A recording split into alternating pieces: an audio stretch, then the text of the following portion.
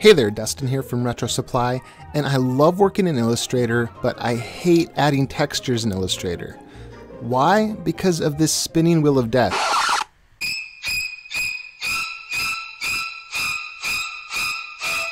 It pops up when I least expect it, and it totally ruins my flow.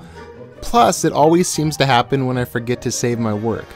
So after a particularly traumatic Illustrator texture crash event, that's what I'm calling it, I had enough. So I started racking my brains trying to think of a way to solve the problem.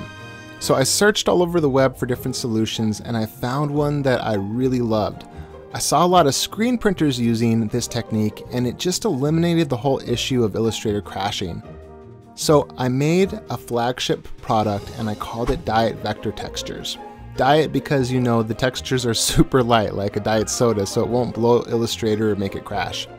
It includes 100 high-resolution TIFF files that you can easily drop into Illustrator and change the color with the click of a button. The files are super lightweight, guaranteed not to crash Illustrator, and they look great in your work. You can use them to add one texture for a really quick way to add a subtle texture to your work. You can easily resize and adjust them to control exactly where the effect is applied, and you can mix and match textures to create your own unique effect. It includes four unique packs of 25 no crash high resolution textures. That's a grand total of 100 textures. The files are super lightweight, guaranteed not to crash Illustrator, and they look great in your work.